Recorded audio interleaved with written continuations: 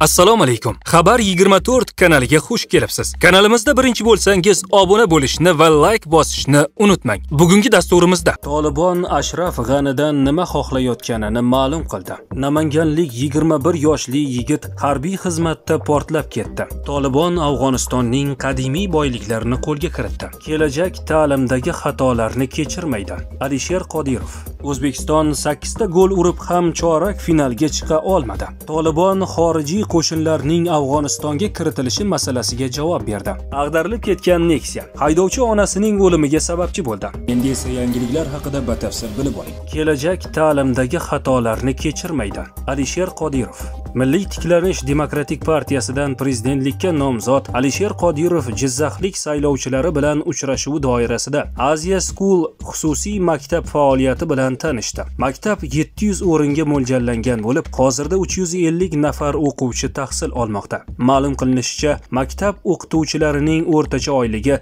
7 million so'mni tashkil qiladi. Alisher Qodirov maktabdagi shart-sharoitlarni yuqori baholab, barcha xususiy maktablar ham bunday sharoitga ega emasligini ta'kidladi va xususiy ta'limni rivojlantirish fondini tashkil etish taklifini berdi. Maktab sharoitlarini zo'r qilib qo'yganimiz bilan o'qituvchilarni rozi qila olmasak, ko'zlagan natijaga erisha olmaymiz. Kelajak ta'limdagi xatolarni kechirmaydi deydi Milliy tiklanish nomzodi. Tolibon Afg'onistonning qadimiy boyliklarini qo'lga kiritdi. Tolibon harakati Afg'onistonning qadimiy boyligi bo'lgan Baxtriya oltinlarini nazoratiga olgani va ularni xavfsiz joyda ekanligini e'lon qildi. Bu haqida Khama Press xabar bermoqda. Tolibon harakati hozirda xazinaning aniq manzilini oshkor qilishmagan. Bu zargarlik buyumlari haqiqatdan ham Qobulda toliblar nazorati ostida va to'liq xavfsizlikda deyiladi Tolibon madaniyat vazirligi xabarida. Eslatib o'tamiz. Avgust oyining boshida Tolibon Afg'oniston hukumat qo'shinlariga qarshi hujumini kuchaytirdi. 15-avgustda Qobulga kirdi va ertasi kuni urush tugaganini e'lon qildi. Namanganlik 21 yoshli yigit harbiy xizmatda portlab ketdi.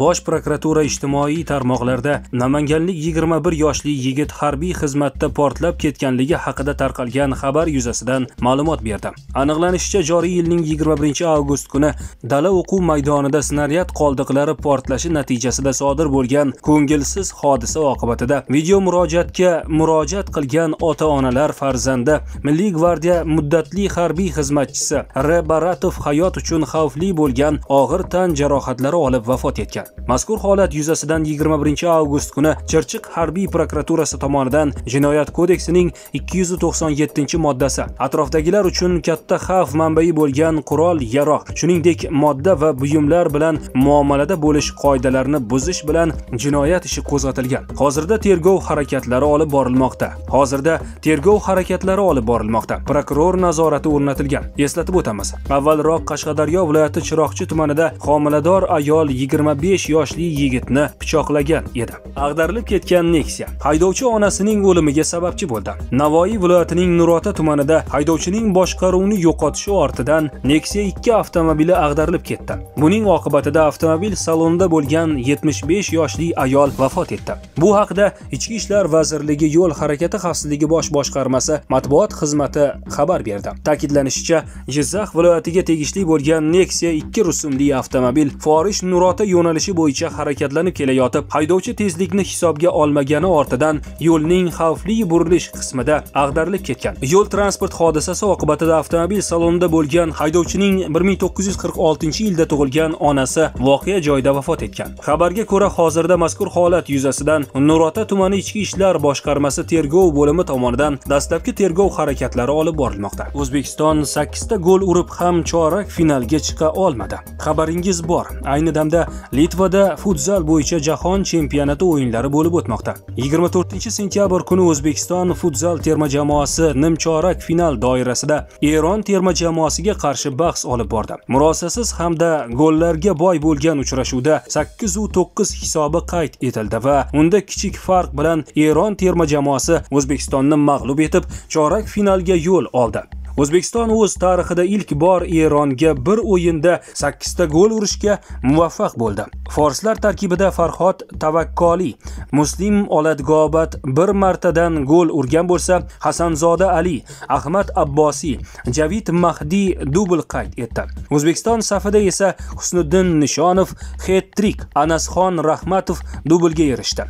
Dilshod rahmatov ilhom hamroyev hamda ixtiyor ropiyev bittadan gol urdi. Shu tariqa o'zbekiston terma jamoasi futzal bo'yicha jahon chempionatidagi yurishini yakunladi. Taliban xorijiy qo'shinlarning afg'onistonga kiritilishi masalasiga javob berdi. Afg'onistonning yangi hukumati o'z hududida xorijiy qurolli kuchlarning bo'lishiga qat'iy qarshi. Bu haqida afg'oniston muvaqqat hukumati madaniyat va axborot vaziri o'rinbosari zabihullo mujohid ma'lum qildi. Yo'q biz o'z hududimizda hech qanday xorijiy qurolli kuchlarni qabul qilmaymiz. Biz dunyo amerikaliklar va boshqalar bilan muloqot qila olamiz lekin o'z yerimizni boshqa davlatlarga tajovuz qilish uchun ishlatilishiga yo'l qo'ymaymiz. Shuning uchun biz chet el harbiy xizmatchilarining afg'oniston hududida bo'lishiga ruxsat bermaymiz degan mujohid. Vazir o'rinbosariga ko'ra hozirda tolibon terrorchilarga qarshi kurashda o'z kuchlari bilan ish olib bormoqda. Bizga bu borada xalqimizning ko'magi yetarli degan mujohid. Tolibon ashraf g'anidan nima xohlayotganini ma'lum qildi.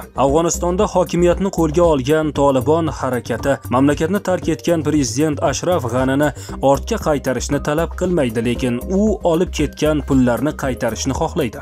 Bu haqida afg'oniston muvaqqat hukumati madaniyat va axborot vaziri o'rinbosari zabihullo mujohid ma'lum qilgan. Ashraf g'ani davlat mablag'larini o'g'irladi va biz ularning qaytarilishini talab qilamiz. Ular xalq va bizning banklarga tegishli degan mujohid. Ma'lumot o'rnida g'ani tolibon avgust oyida kobulni egallab olganidan keyin mamlakatni tark etdi. Keyinchalik u birlashgan arab amirligidan video murojaat qilib o'z vataniga qaytishga va'da berdi. Shuningdek sobiq prezident pul olib ketmaganini aytgandi. Arqadah komadami? Prezidentning sog'lig'i haqida rasmiy ma'lumot berildi. Avvalroq ba'zi ommaviy axborot vositalari turkmaniston prezidenti berdimuhamedovning komaga tushib qolgani haqida xabar bergandi. O'z o'rnida mamlakatning moskvadagi elchixonasi ushbu xabarlarni rad etdi. Ria novosti nashrining diplomatik vakolatxonadagi manbalariga tayanib yozishicha turkmaniston prezidenti gurbanguli berdimuhamedovning sog'lig'i yomonlashgani haqida bir qator ommaviy axborot vositalarining ma'lumotlari mutlaqo ishonchsiz va haqiqatga to'g'ri kelmaydi. Qayd etilishicha berdimuhamedov kuni kecha 20 sentyabr kuni video anjuman shaklida